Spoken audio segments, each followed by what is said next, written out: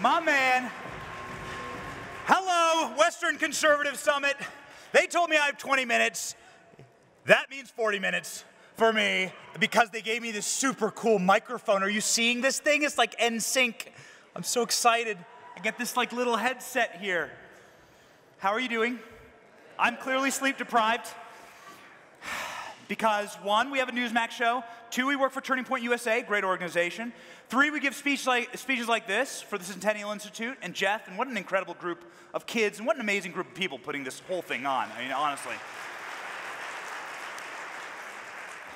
But then, my most important job on earth, and I think the most important job that any man can have on earth, is being a father. And I am a father of two little girls. That's number one, that's Eloise. Eloise came into our life uh, two years ago, and whew, doesn't it change you? Dudes, can I hear this? Like, it changes you, right? Like, it fills your soul, and you become so happy. You come home, and there's someone to greet you.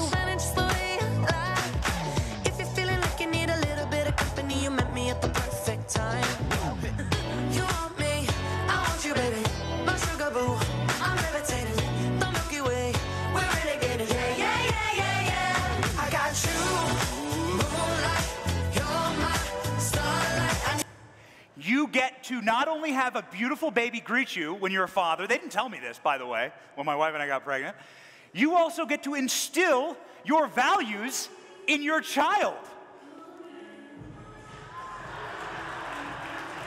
This is how my kid responds to every mask she sees.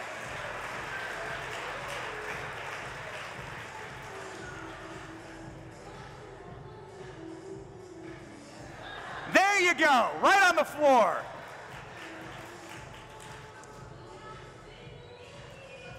Where my daughter was nine months old in that video, and she's still smarter than Dr. Fauci. Take the masks off.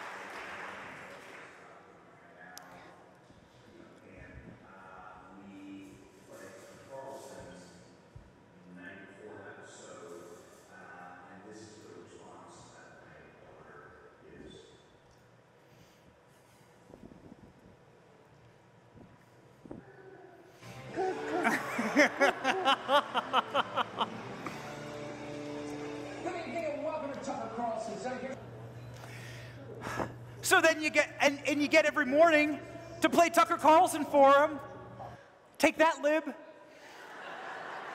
So my kid hates masks. She's adorable.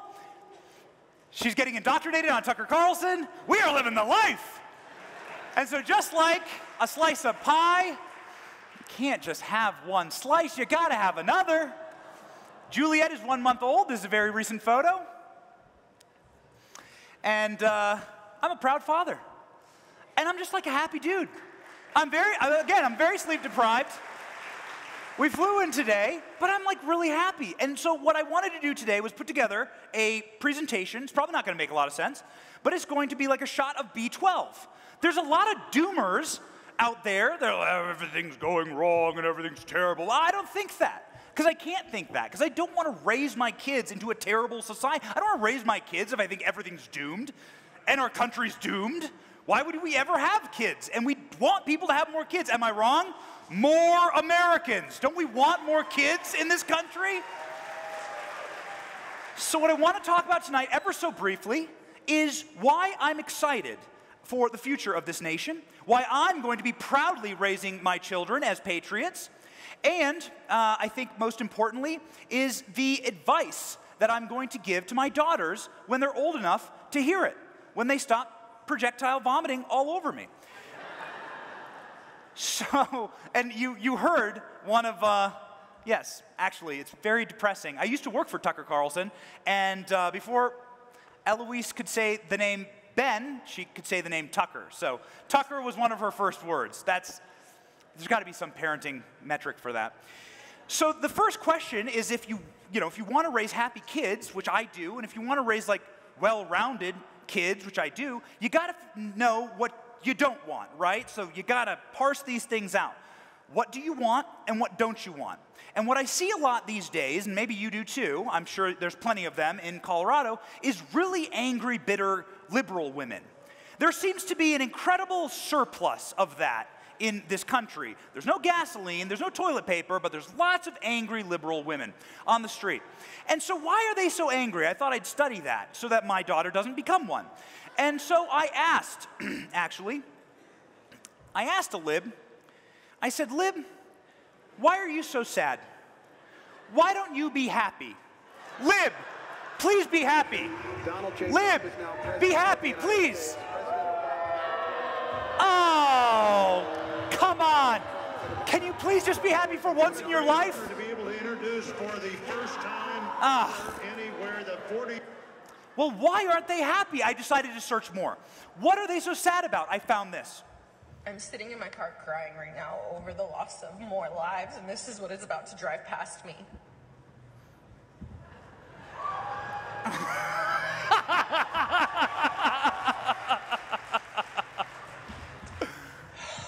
I'm like shook right now. Oh, there's another one. Another one coming. There's a parade of them. I'm shaking. What is Uh, so apparently, trucks with flags, that's what makes them unhappy. Any truck drivers in the audience here? Oh, yeah. The guy in the back with his arm straight up. It was him in the video, by the way. It was his truck. He drives around her house every single day. You terrorist. and if they're this upset about trucks, what, what are they going to do when we overturn Roe versus Wade? Oh no! Oh, Libs, I'm so sorry. Okay, so that's the first piece of advice. First piece of advice. Please don't be a lib. That's the first piece of advice for my daughters. Don't be a lib. You want, you want to be happy? I'm sorry, I know Tulsi's backstage, but just don't be a lib. Like, that's the first rule. They can hang out with Tulsi, I don't care. She's a cool lib. Okay, number two God created you and wants you to be happy. Pretty basic, pretty basic, but it's really the core of everything. If you think about a young girl and what happens to young girls in society, I want them to remember verses like this I know the plans I have for you plans to prosper you and not to harm you, plans to give you a hope and a future. I want my daughters to remember verses like this I'm fearfully and wonderfully made. Every hair on your head is numbered. If you, if you know you have value because a creator gave you value, then you'll start behaving like a virtuous, valuable woman. You won't degrade yourself. You won't listen to these lies of culture. It really is something that I want them to know, and I want them to know that they're beautiful because God created them, God designed them. You're beautiful is the third thing I want my daughters to know all the time. There's an entire trillion dollar industry set against young, telling young girls that they need something else and that they're not beautiful the way they were designed and that they're not perfect and that, that there's something wrong with them. And there's not. We're in a really beautiful state here, in the state of Colorado. I was doing a, a report today from Denver, and I was had my film crew there in a shanty town of tents. I was stepping on syringes. There were homeless people all around me, and um, uh, one of them was really funny. Actually, didn't have any teeth, but what's the point? I looked up from that shanty town and I saw the Rockies. I was like, look at this majestic thing God created. And God's, the, the natural world that God created in its natural essence is so beautiful. And if you're from Colorado, man, you know that. There are some incredibly gorgeous places here in this state. And what I, I want my daughters to travel, and what I want to tell them is this that while God created nature this stunning and gorgeous, God says that He created man and woman in His own image.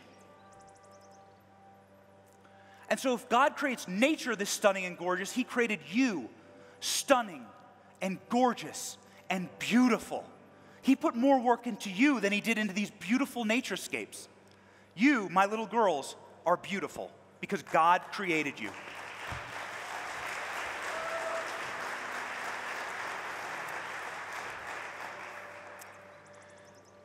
I definitely did not film that in downtown Denver at the shantytown.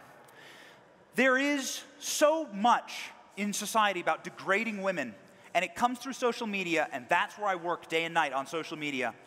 And so I just want to protect my daughters from that, and I feel like the best protection, and I know this world very well, the best protection is to know their value in their soul, that they are a special, beautiful being designed by God, and they do not need the approval of anyone else. They do not need society or culture's approval. That God creating them is good enough. And they can turn off TikTok. It's Chinese spyware anyway. It's so stupid. The Chinese, you know what Chinese TikTok looks like in China? They, they don't put people dancing or women degrading themselves up at the top of the feed like they do here. They put on scientists and mathematicians and people who do biology and successful businessmen. They want to degrade our culture, and we're not going to let it happen in the Johnson household. Get your kids off TikTok if they're on. Four, become a woman of high value. Any single women in the audience? Any single women? Matt, this is how you know you're talking at a conservative conference. There's one single woman way in the back. Do you want to marry a man of high value? Would you like to marry a man of high spiritual value? High moral value? High physical value? Then behave like a woman of high value. Treat yourself like a woman of high value. You'll attract that man. You'll attract them. There's a reason why Kim Kardashian and Pete Davidson are dating, it's because they're sick and toxic. And they're totally toxic individuals, and they are attracted to the fact that they're both toxic. High value people attract each other, and they're really happy together. I can prove it. This is how most conservative proposals go. Will you marry me? Yes. Pew Research Study did an incredible report, and I just can't believe they even published this because it's so damning for the leftist worldview about happiness. And all the way back to 1972, 50 years ago, you have Republicans, sorry, conservatives, year over year, demonstrably happier. Why? Why are conservatives happier than liberals? Well, the study found that conservatives are healthier, wealthier, love their jobs, have more friends, are more religious, are more likely to be married, and more likely to have children by a huge order of magnitude. The Atlantic, who hates conservatives, wrote this Conservatives tend to do the kind of things that lead to happiness, like getting married and having children and going to church. Conservatives build social connections that make us feel happy. We are the happy people in society because we choose the things that make us happy. Strong families make strong nations. I know it seems old timey. I know, I get it, right? It seems old timey. But your great grandmother was onto something. Like, there is actual, true, hard data and studies, empirically and peer reviewed, that show that Christians have greater marital satisfaction. Conservative religious couples are by far the happiest of any couples polled. And you want a country of happy people, right? You want a country of like well balanced, good natured people. Religiously active people are happier and more civically engaged. They have healthier lifestyle choices. We should be proud of some of these results. These are recent articles from this year. US divorce rate hits 50 year low. US birth rates rises for the first time since 2014. Thank you, Jeff Hunt. The birth rate increase was just Jeff and his family. Give yourself a round of applause. This is the work of Christian conservatives. This is us winning in culture. We don't talk enough about how we are correcting course on some of these things. And it's really special. Your life is your responsibility. I want my daughters to know what you choose, the choices you make, won't be made by the government and they won't be made by me. They'll be made by you. So you can choose to be happy or not. Last bit of data I have for y'all, but I think it's so fascinating from the Pew Research study. Factors that increase the odds of happiness your health, your church attendance, way up near the top. Everything else is below that. But being married and party ID, being a conservative, is on there. You know what's shocking to me about this? The things that do not lead to an indication of whether you'll be happy race, race, ethnicity, and gender. What are the things that the left is so obsessed over? Race, ethnicity, and gender. Those things do not lead to happiness. There's no measurable scientific difference between someone having a different race and their happiness or their gender. What do conservatives choose? The dark green bar is what conservatives choose, it's what we value. The light green bar is what the left values. Conservatives, by and large, by a huge margin, choose being married, having children, and living a religious life as what will lead to their happiness and what's very important in their lives. There's so much science on this, there's so much data on this, and we never talk about it. We win because we are happy. We win because we make choices for being happy. Are there any couples in here that's been married more than 50 years? Look at this, down in the front row. What's your name? What's your name? John? And? And Janet? John and Janet, everyone. Are you happy? Do you love each other? 59 years. Yes, John and Janet. Do you love her more like every day? Have you lived a happy, joyous life? You should see him beaming. He loves her, he loves her as much or more today than the day you married her, didn't you? Don't you? Look at how happy they are. That's the American dream. And we're the only ones doing it. So that's the final piece of advice. The final piece of advice for my, for my daughters here is sorry, guys. Once bounced ahead and bounced back. We'll get there. Click, click, click. Sorry about it. The final piece of advice, I'll skip ahead, is that you were made for this time. The number one thing that my wife and I get asked by young women or men on Instagram is how could you possibly have kids right now? Isn't the world so scary? How could you possibly, you know, why would you want to start a family right now? There's so much out there. It's so scary. You got to open up a history book. Man, like, what did people go through during the Revolutionary War? What about the Civil War? A million plus Americans died in the Civil War. You think this is the scariest time in American history? You are wrong. You are absolutely wrong. And God says in His Word that no weapon formed against you shall prosper.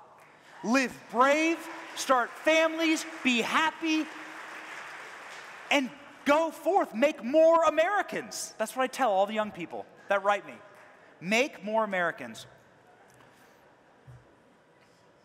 And you know what? young people are by and large choosing to.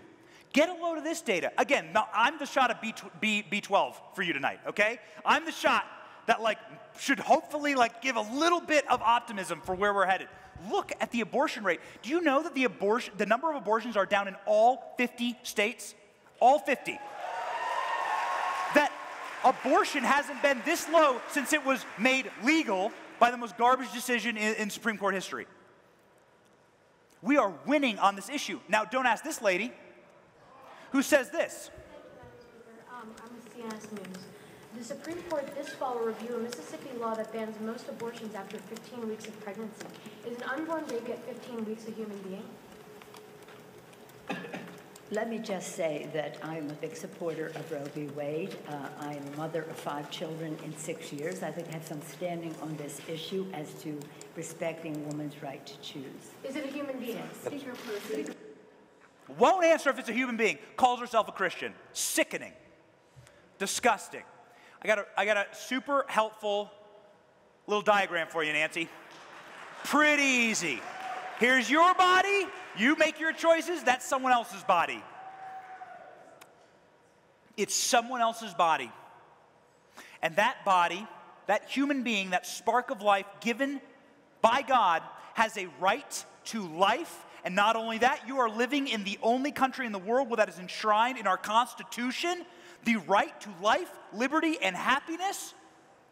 Taking of an unborn life denies an American the right to life that they are guaranteed. Therefore, abortion is unconstitutional.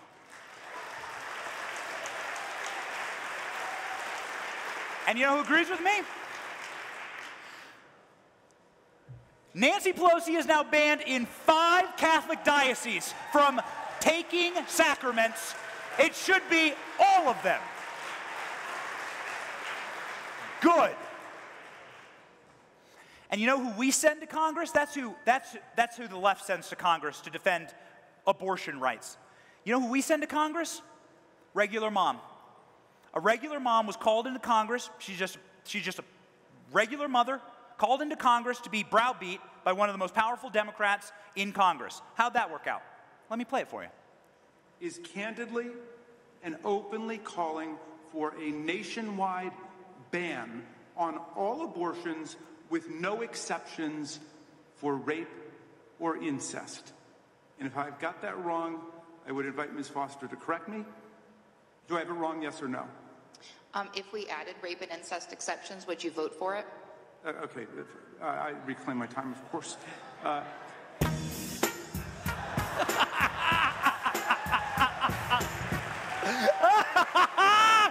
Conservative savage mom taking down Jamie Raskin. Impeachment.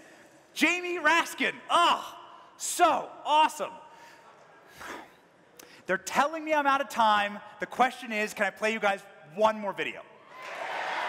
Yeah, I'm sorry, Jeff. Did you hear the sweet people? Can I play you one more? It gets really good here at the end. Can I play you one more video? All right. All right.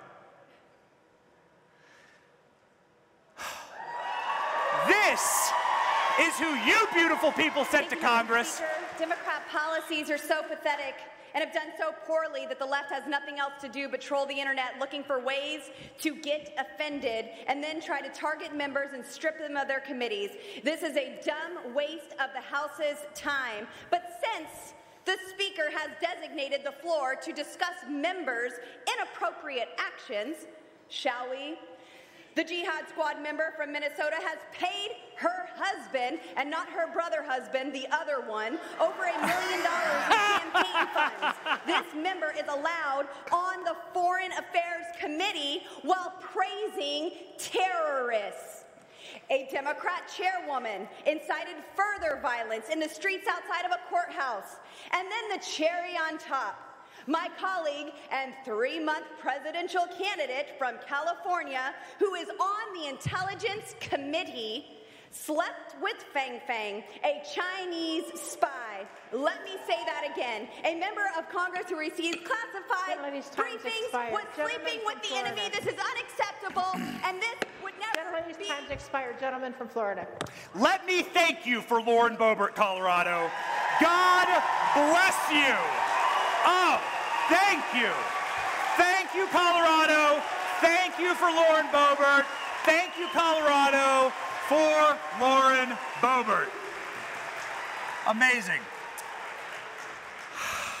I had more funny videos for you, but I'm getting the shepherd's crook. I said you show another funny video. I'm getting the. We're having oh fun. yeah. You wanna show okay, another I funny got one more for you. All right, go Can for we it. do one more? one more. Last one. I promise. One more. Okay, one more. One more. Just to show you, and this is the close. Just to show you the difference between my daughter's learning and perhaps your. Da- do you have children? Do you have daughters? Were you a girl dad? Girl dad? Yes, proud girl dad. Are they great? Did they learn some of these lessons from you? The answer is yes. The difference between following these lessons with your kids and not. These are the results. Here we go.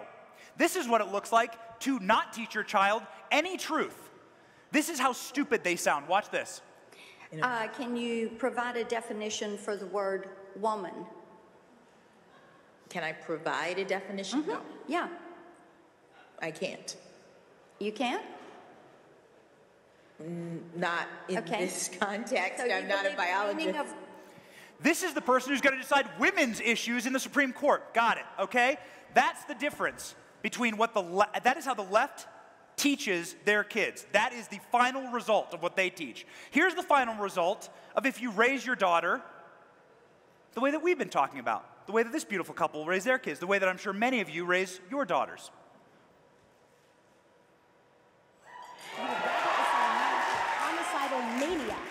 Than to actually address that I said to, the things that I said today that are actually harming black America. Number one, father absence. Number two, the education system and the illiteracy rate. Illegal immigration ranks high, abortion ranks high, white supremacy and white nationalism, if I had to make a list again of 100 things, would not be on it. This hearing, in my opinion, is a farce, and it is ironic that you're sitting here and you're having three Caucasian people testify and tell you what their expertise are. Do you want to know what my expertise are? Black in America. I've been black in America my whole life, all 30 years, and I can tell you that you guys have done the exact same thing every four years ahead of an election cycle, and it needs to stop. Boom! Boom! Boom! Boom! The real, the real epidemic is fatherlessness in this country. The real pandemic is fatherlessness in this country. Every mass shooter, family problems. Every drug addict, absent father. We need good men, good girl dads to stand up and raise their sons, to raise their women and their daughters, and to be good husbands to their wives. We need fathers in this country. That's the real, real epidemic in this nation. Candace Owens gets it. Jeff gets it.